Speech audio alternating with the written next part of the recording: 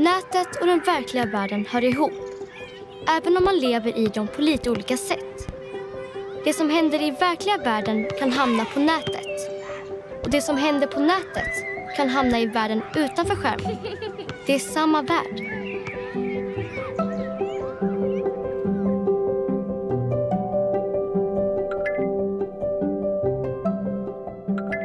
På nätet är det lätt att vara osynlig. Då kan en del vilja testa saker. Till exempel gå in på sidor som inte är tillåtna.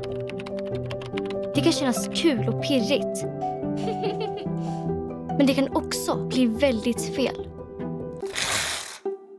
Eftersom det går att vara osynlig på nätet är det lätt att bli lurad eller till och med hotad. Det kanske inte alls är ett annat barn du pratar med eller skriver med. Hur kunde det bli så här? Är inte Lisa Lisa? Det kan vara ett äldre barn eller en vuxen. Det kan vara nästan vem som helst.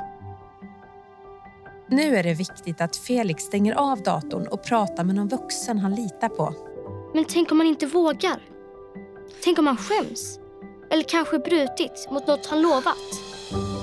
Och Felix var ju den som började skriva. Han inte skylla sig själv lite? Det spelar ingen roll att han började eller var med på det. Felix har inte gjort något fel. Det är alltid okej att ändra sig, även på nätet.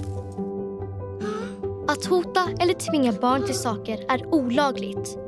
Och Sveriges lagar gäller både på nätet och utanför eftersom det är samma värld. Det är ofta värre att bryta mot lagen än att bryta mot något man lovat. Därför är det jätteviktigt att berätta för en vuxen om det händer något läskigt eller konstigt på nätet. För tänk om det är olagligt? Plus att vuxna också gjorde fel när de var barn. Vuxna gör fortfarande fel ibland. Alla gör fel då och då. Vi vuxna blir väldigt glada om barn vågar berätta för oss. Det kallas förtroende. Att man litar på varandra. Om du blir rädd, ledsen, hotad eller skrämd på nätet så är det alltid rätt att berätta. Då hjälper du dig själv och är din egen superhjälte.